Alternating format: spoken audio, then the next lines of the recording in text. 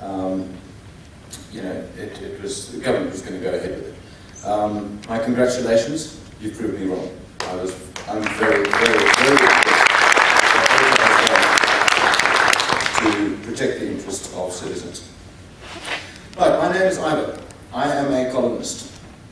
Uh, I write about a lot of things that seem obvious to me, like the virtues of minibus taxis, uh, the evils of charity, um, the health benefits of MSG, the costs of energy-saving light bulbs. Uh, economics, politics, environmentalism, you name it, I've likely written an opinion about it, or I'm just about to. In the process, I've made myself fairly unpopular in certain quarters. For example, I've spent a lot of time weighing all the evidence for and against shale gas drilling and concluded that I'm not opposed to fracking in the Karoo. This doesn't go down well in towns like Prince Albert, where I was two weeks ago. Over there, they think I can pay by Shell. All evidence to the contrary, notwithstanding. Long story short, one day I got a call from uh, Marlene Fryer at Zebra Press asking me if I'd write a book. And I said, um, no, I don't want to write a book. I have enough trouble with my life. She said, but we're Random House. I said, oh, I know who you are. I said, well, we'll pay you. I said, you won't pay me enough.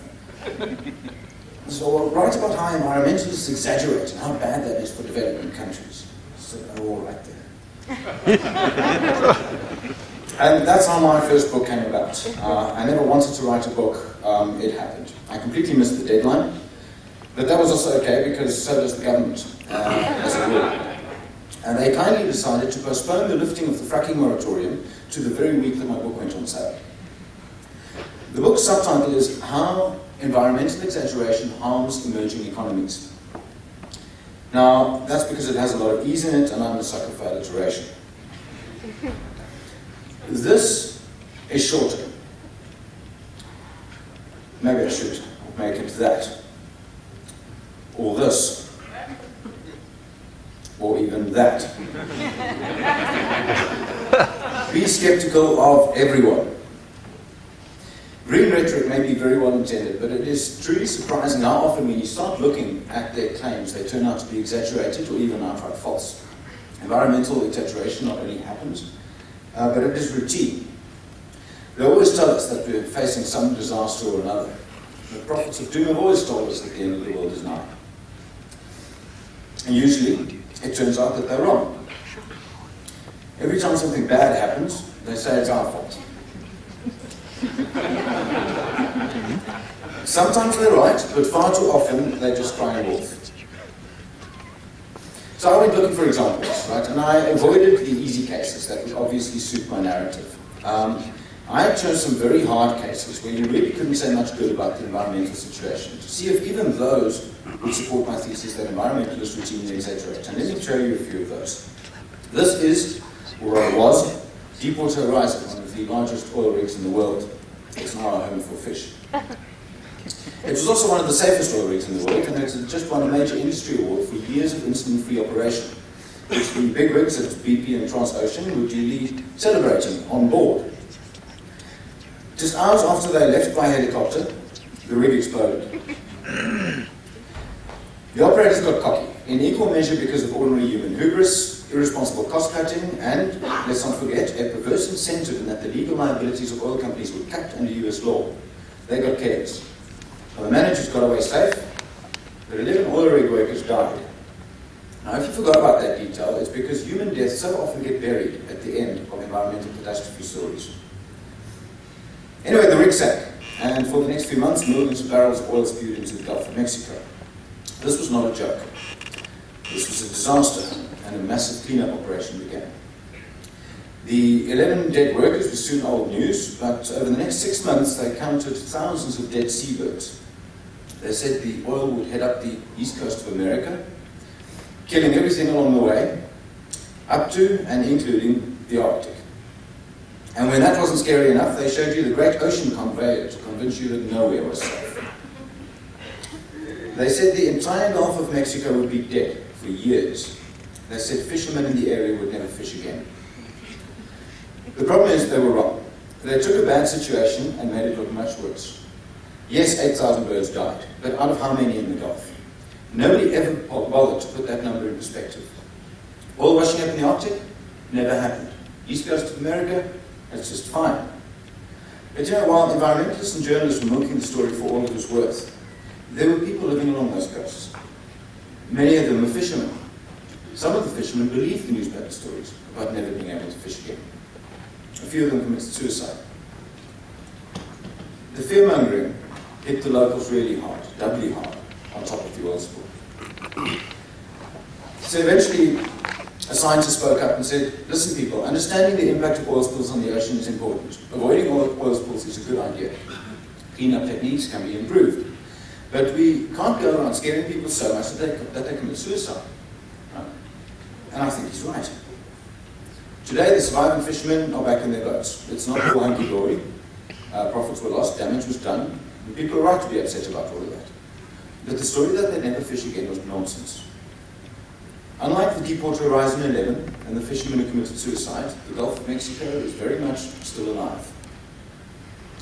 Now, when you see oil spills like that, right, how much do you think it adds to the total oil pollution in the ocean? Deepwater Horizon falls under spills from production activities, which accounts for 2% of all the oil in the ocean. If you look very carefully, it's that thin blue slice at the top. Unlike tanker or oil rig spills, operational spillage from ships cleaning out their bilges or runoff from land, which is the yellow slice, right, doesn't produce photogenic oil-slick birds for newspapers, so nobody ever reports on it. And the biggest source of oil in the ocean? Natural oil sinks. Under the harsh conditions of sea and sun, chemical processes of bacterial action break down oil. No reason, you know, the sea recycles it. The sea knows how to deal with oil. Even our very biggest spills don't turn out to be quite as catastrophic as they seem at first. Now, look, that's not to say we shouldn't care about pollution, right? but sensationalism and fear-mongering is neither a rational nor a useful response. Let's talk about another green bugbear. I'd ask you if you know where this is, but um, there's a bit of an obvious clue in the photograph. This is Koeberg Nuclear Power Station. Many environmentalists don't like nuclear power either. Why? Well, there's an old political reason, of course. Back in the Cold War days, nuclear weapons were much feared.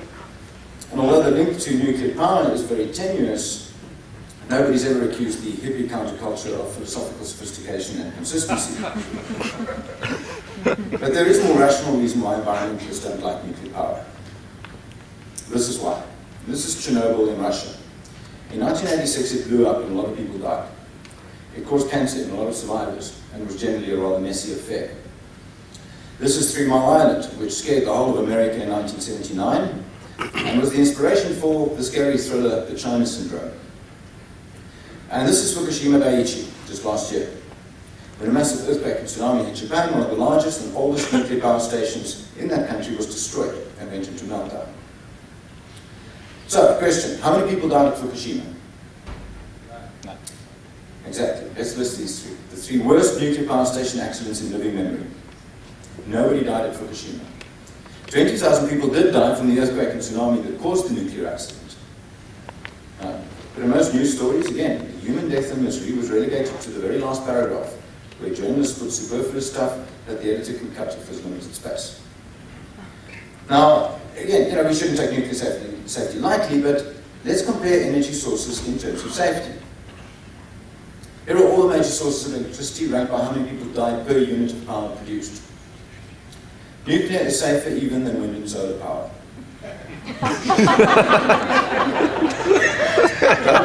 don't, judge. You know how many people fall off roofs installing those bloody solar Now, ironically, Fukushima proves the safety of nuclear power, well after it should have been decommissioned. It was operated by a reckless monopoly that cut corners. It was designed to withstand much less than what nature eventually threw at it. What happened? Besides, where do you think most radiation comes from? As it turns out, nuclear power, like those production oil spills, by far the smallest source of radiation exposure. Little light blue slice at the top. Medical treatments, natural background radiation, including in the buildings around us, exposes to vastly more radiation than the nuclear industry does. Did you know that in normal operation, a coal-fired power station emits 100 times more radioactive waste into the environment in the form of fly ash than a nuclear power plant? But notice the purple slice over there, right? That, that represents radiation in our food. Take the humble banana. The very symbol of healthy food, right? They're not scary, are they? well, are they? And truth be told, this guy is selling you something that you would struggle to get past an airport radiation detector. Bananas, like many fruits and legumes, absorb radioactive potassium from the soil. About eight tons of them are equivalent to a kilo of low-level radioactive waste. And guess what happens to all the bananas and nuts we eat?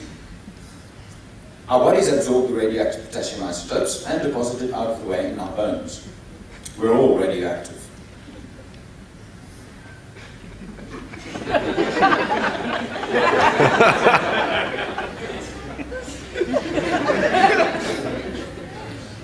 Bananas people are terrified. now see what I just did there?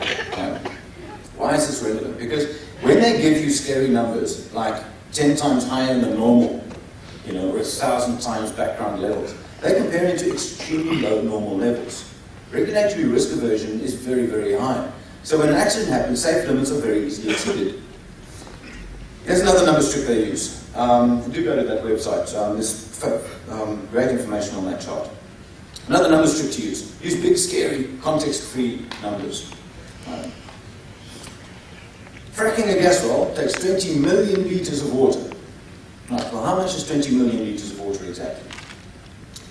Well, the average golf course, for example, like this one in the Karoo heartland town of Graaff-Reinet, or this one in Grahamstown, both of which I've been to in the last two weeks actually, uses 20 million litres of water in 10 days. That's how little 20 million litres really is. Now in South Africa there are 430 courses from Aberdeen to Swartkops. In a year they use enough water to drill 15,000 shale gas wells. If you were to draw that water from the Gariep Dam once off, you need 3% of that dam's capacity. Now, when environmentalists exaggerate, they not only cause governments to enact prohibitions and impose regulations that not even rich economies can afford, they undermine their own cause because of the cry wolf phenomenon. So I thought, you know, why would they do this? Why do people use these scare tactics? And I went and I explored a few of the possibilities. And it isn't just that a louder, exaggerated message is, is necessary or more likely to be noticed. Um, there are deeper reasons. The most banal of them is simply that research funding is hard to get, unless you can connect your subject to something scary. But the late science novelist Michael Crichton views environmentalism as a new religion for the urban elite. And indeed, the parallels he draws are pretty startling. Modern science, technology, and commerce, eating from the tree of knowledge, have led humanity from a state of innocent purity to one of moral degeneration. If there once was Eden, an unspoiled nature, it is now corrupted by our sins and excesses. As a consequence of the sin, we will be judged in an inevitable apocalypse of global warming or even human extinction. There is a hell, and we're in the handbasket that's headed there. However, we can assuage our guilt by seeking salvation in sustainability, by practicing good deeds and recycling and partaking of the sacrament of organic food. we have a priestly case like Al Gore and dead saints like Rachel Carson. But yeah, my favourite theory is put forward by a trio of skeptics. Uh, Nigel Lawson, who was the Chancellor of the Exchequer under Margaret Thatcher, Nigel Calder, who was the former editor of The New Scientist, and Patrick Moore, who was a one-time founder of Greenpeace. He left the organisation back in the 80s when he got um, very annoyed with how they were treating their environmental causes. These guys reckon that Thatcher needed to crush the unions, right? And she didn't trust OPEC. So she went to the Royal Society with a bag of shiny sovereigns and said, go away and make a case against fossil fuels. And they obliged, and they came back to tell her that we're all going to die. Now, not only did Maggie like what they said, but so did the Back to Nature movement, which abhorred industrialization and everything that goes with modern life. And then the Berlin Wall fell. Right? And suddenly you've got a whole lot of fellow traveler activists, millions of them, who are left at a loose end.